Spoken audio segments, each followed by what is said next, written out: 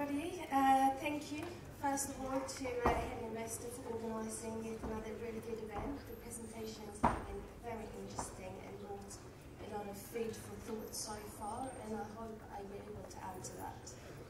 Um, my name is Sara Dhariwal, and I'm heading up the uh, helicopter practice at Ascend by Cirium. Uh, firstly, and as I am sure you have noticed, we have a new name, a new brand. Um, for us at Ascend is very much business as usual, apart from the fact that we can use a lot of different colours in our presentations. So um, hopefully that will cheer you up a little bit this morning. Um, this is our team as it looks today. We're close to 30 analysts over three offices.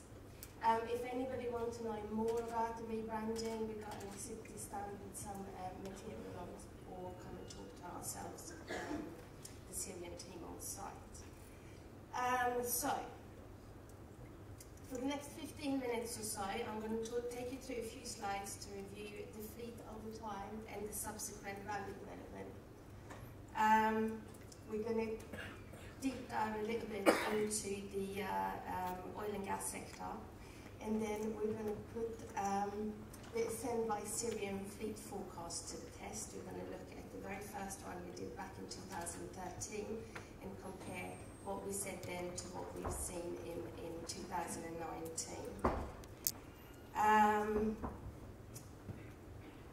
we are going to look at some of the lessons that we've learned and also some of the turbulence that we've got moving forward, something to consider for, for everybody in the industry. Um, so, this chart shows the fleet growth per sector since 2000. So the interesting bit with, with, this slide is that you can see that all of the sectors has actually had growth in the last uh, 20 years, uh, apart from one sector, which is the oil and gas sector. Um, the dip here seems really, really small in, on, on this slide in relation to everything else, but it did cause, as we know, a lot of turmoil, mainly because of the uh, value of the assets that are operating in this sector um, impact for the finance community. So let's look into the oil and gas sector in a little bit more detail. Some of you have seen this slide before. It shows the fleet development against active rig, count, um, rig patterns over time and we can see quite a stark correlation between uh, oil rigs and the use of helicopters. Um, the significant drop that you can see in 2016 is largely caused by the H225 grounding. Um, and in normal circumstances, um, one would imagine that that would have had a positive effect for the rest of the fleet operating in that sector. Um, but what we went on to observe was uh, continued excess and continued value declines. This shows the heavy value development uh, over time. This is only focused on the 92 and the 225. Um, I've only drawn the um, trend line for the 92 because we all know that the 225 had events that was a little bit outside of, of that pattern. Um, but despite the fact that it had monopoly in the market, the values have continued to decline. Uh, looking at the um, usage role, we have seen the 225 in particular it's been very interesting because we've seen that it's had real difficulty transitioning to another usage area, uh, which is due to its size and also due to the cost and time of conversion and also the absorption in, in which other usages can actually use this machine. We're starting to see this happen a little bit more now. Uh, utility, firefighting was just mentioned, could be great opportunities for this machine, but not at the values that we saw at the height of the uh, oil and gas upturn. Um, so, this shows the mediums.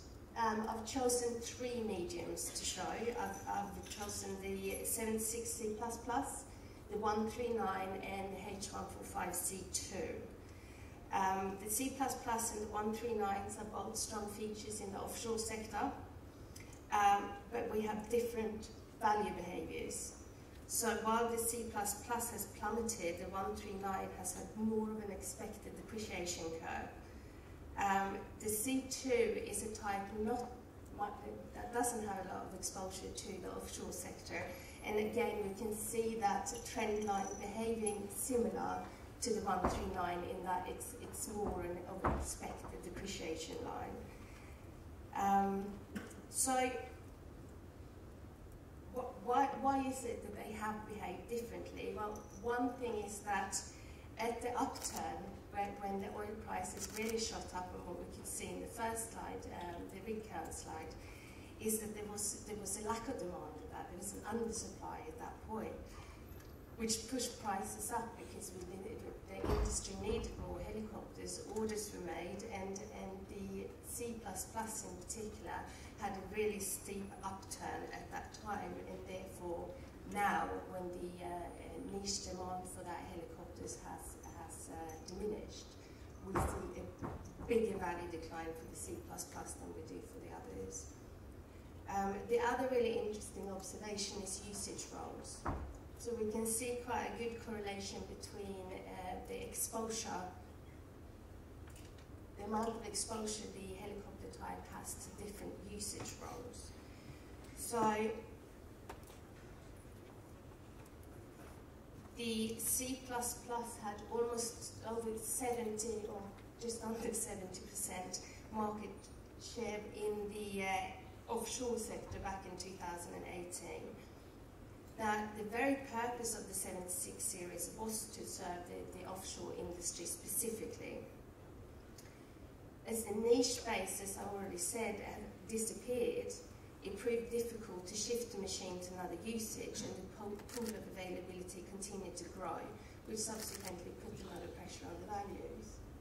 Now, if we look at the 139, this is a much more versatile asset and had an even more, uh, more even share in several sectors, which helped to offset the decline in demand in the offshore industry. It also had a more clear proven secondary market. In the case of the C2, it had next to no exposure to offshore, uh, and we can see that value depreciation is, is more in line with, with expected depreciation. The conclusion here then is that diverse assets is a really good foundation for stability. We've also seen the market react to this. So this shows the leased helicopter fleet usage trends. And we can see uh, back in 1415, the lessors fleet was heavily exposed to offshore, but over time they've started to diversify. Now there's a bit of a strange dip here in 2016, and that's also largely due to the 225. Um, so this slide looks at fleet per sector. So whilst the SAR, the SAR portion looks very, very small, in value terms it's quite significant that the machines tend to be of the larger sizes, heavily equipped. So now let's put the uh, Ascend fleet forecast to the test. That's it. This is what we. Um, this is the difference of what we forecasted back in 2013. The reason we compare it to 2013 is because it was our first forecast and I've chosen to look at it by segment and to focus on markets core to investors like yourselves. As you can see, our forecast for these segments missed the mark by an average of 224 aircraft, translating to 13% margin, uh, driven by uh, the offshore sector. If we remove the offshore sector, however, the average accuracy across the segments was 4%. I think this is interesting in showing how the different segments has performed in the last sort of five, six years. And it demonstrates the severe turbulence in the offshore sectors which have led to behaviors we have not observed before. But the overall, overall the industry has performed largely as one would expect. So what have we learned? Well, one thing that we've learned is that the recovery pattern was not a U-shape as one would expect, it was more of an L-shape. This is an indication that we now have to find the new normal in this industry. Another thing we learned is the strong correlation between oil prices and the use of helicopters, We worked with the assumption that oil production is required even in a downturn. We also worked with the notion that the cost of using helicopters were relatively small for an oil company and would remain largely the same. However, as the downturn continued, the oil companies had to rationalize their entire operations and change their approach to costs. We started observing behavior which hadn't previously been seen, including the biggest decommission project of oil rigs in history. Um, many of the decommissioned platforms were those requiring specialized helicopters, such as the 76 and the heavies. Another key thing that happened was the emergence of the leasing community. Of course, they have been around before, but they had been around before, but not in the same capacity. Were they a help or a hinder? Well, well, well, I think we're going to see eventually, but initially, initial indications uh, indicates that the, the oversupply would have been a lot greater would it not have been for the lessors. They managed to move some fleet around, convert them into different segments, um, the very nature of a lessor's business is to keep aircraft moving, and they, they work really hard to do so. Right. But all this said, are there parameters that could have made the industry able to anticipate this overcapacity earlier, and how do we mitigate the risk moving forward? Well, this is our current forecasting model. Much of this is based on historical data, and as we can see so far, it hasn't been bad parameters, but when previously unobserved events happen, it jeopardizes historical analysis. Some of the key unknowns we, we currently see on the horizon has been uh, mentioned quite a lot in this forum already, but let's go through them, seeing I've already made the slide. Um, technology. How will this help shape the future of the industry? Does it bring new efficiencies? If so, what are they? Which industry and or which type of helicopter is it likely to impact? And in what, what way? A change to useful economic life assumptions. This is a real possibility, as we now have more types than ever in the market. If there is a change, how will that affect your investment? Will it differ between industry sectors and all size categories? This is work that we're looking at at the moment at Ascend, and, and hopefully we'll reach some sort of conclusion shortly. But because most of the fleet hasn't yet retired, it is quite a difficult task to, to conclude. Climate crisis, what does that mean for the helicopter industry? Well, flight shaming could be a real thing for the corporate sector, while significant reduction in the reliance on fossil fuels will obviously have an effect on the offshore sector. Industry changes. We're currently seeing consolidation for both offshore operators and lessors. The EMS sector is finding challenges with revenue model. What's likely to happen in different sectors and will it have a positive or negative impact on the segment in which your fleet is working? We also have regulatory changes. What's on the horizon? How will that impact your fleet? What would happen if China opened its airspace to be more accommodating to EMS and SAR operations, for example? This slide and, and these questions are obviously not exhaustive, but it's some of the things that we need to think about. So to conclude, we have seen that different market segments has different drivers of growth. The effect of turbulence is very difficult to forecast and it may be possible to incorporate additional indicators, but what do we choose? Utilization perhaps, lease rates would be great. And I'd like to address Ed's point uh, here. Um, Steve Robinson's data is brilliant, but it doesn't show us what the values are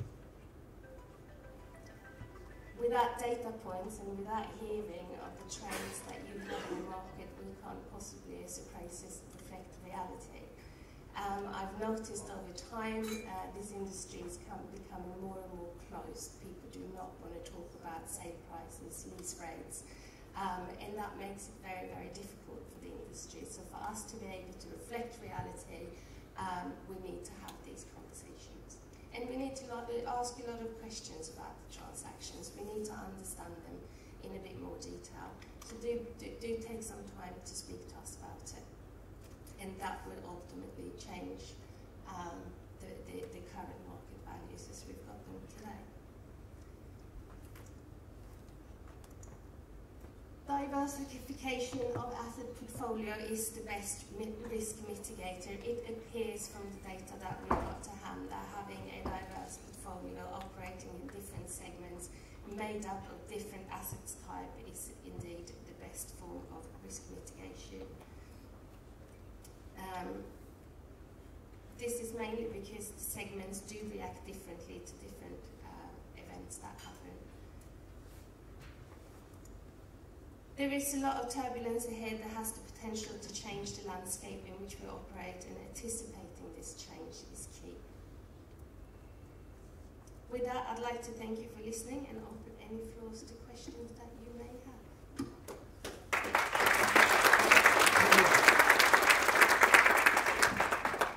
Do we have any questions? One is so clear. Oh, it's all. Any questions or comments? That was brilliant.